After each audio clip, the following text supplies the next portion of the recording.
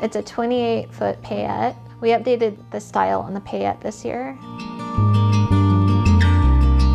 I just tried to modernize it a little bit more. In this version, I just took what I've learned from modern architecture and some things I've gleaned over the years and added them to this model.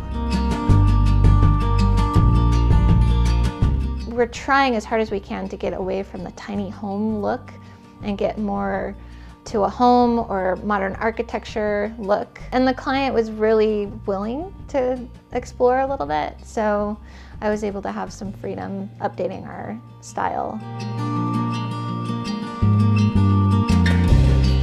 This was actually a little more than a staging because the customer actually wanted the belongings to keep. She had us buy everything for her, things for the kitchen, all the furnishings, all the bedding. She wanted a like a bohemian hipster feel. So she wanted to feel young and fresh.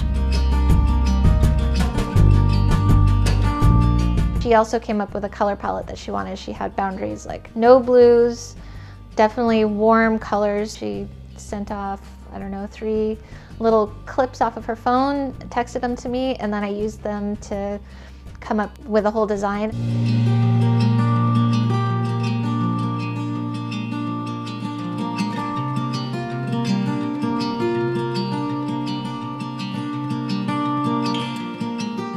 It depends on how you do it. Like if you do all your shopping at Target, it'd be a lot less expensive if you went to, you know, high-end designers for everything. They custom make the pieces and it takes several months. In this case, we used a lot of things like CB2, Pottery Barn, so that we could have the quality of items. So there should be things that last forever. To fully outfit the tiny home the way that we did probably comes out to about thirty-five to forty thousand dollars.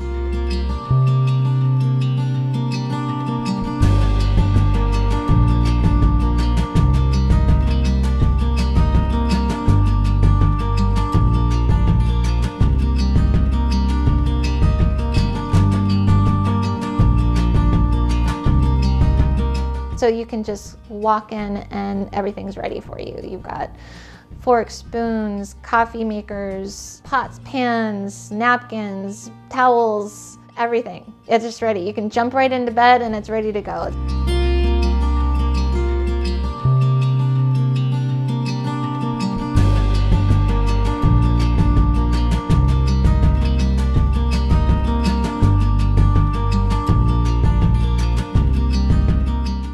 I really fell in love with, after having it in the space especially. I knew I loved it when we picked it out, but it was really nice once it was in there. Actually, the chandelier is probably my favorite. The way that it adds kind of glamour to the space.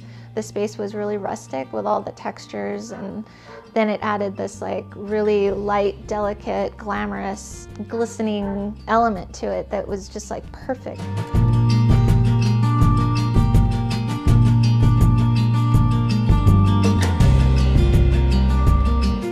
Every time I stage a tiny home, I'm trying to paint the picture of what the space can be like and what the experience can be inside of one of the homes that we build.